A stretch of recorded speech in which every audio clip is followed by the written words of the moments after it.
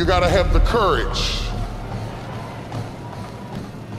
Do you have the courage to act outwardly on what you see inwardly?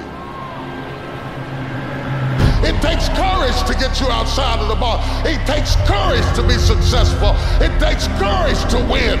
People don't talk about people that don't win. If you win, they're going to talk about you. Do you have the courage to stand there raging and the people get to talking and you stand there and say, I've come too far to turn around?